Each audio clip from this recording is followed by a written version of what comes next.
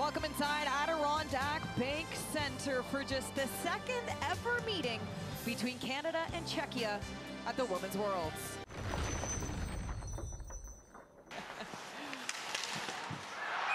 she scores off the face-off.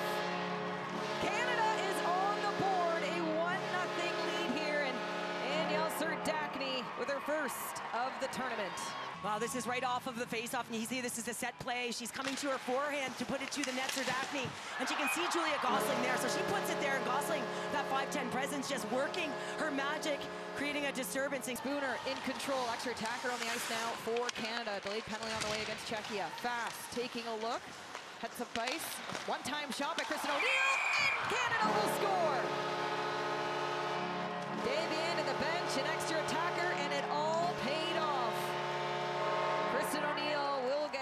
Credited, and Canada leads by two. You can see the patience, the fadeaway to open up the lane cross seam.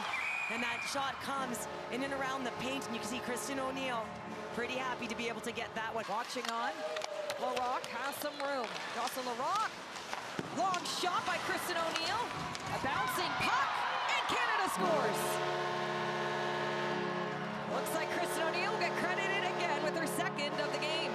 She fires one, and then she continues on towards that net. I mean, she knows where that puck is.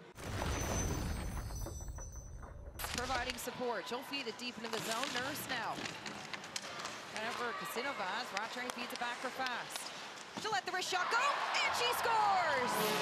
You can see Jamie Lee You can see the screen. Nurse, after she makes that original play, gets net front to take away the eyes and be that screen in front of Peslarova. There's a double stack screen there, so you take the shot. That's exactly what Renata Fast does. For a pass to Stacey, read by Vanisova. Now it's a foot race. Tereza Vanisova, a breakaway chance for Czechia. And a stop by Anne-Renee Desbiens. Vanisova stopped by Desbiens as they get closer. Turtle scored the opening goal against Sweden in the quarterfinal game at last year's tournament, which came down to the wire. Stacey, she'll score!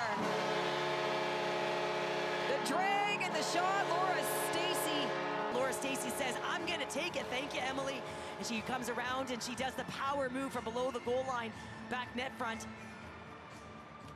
That high forward to her, open that lane to make that crossing play. As time expires, a 5-0 win for Canada. And Anne-Renee Desbiens with her 18th win here at Women's World for fourth most in tournament history. And so Canada remains undefeated. Next up, the United States.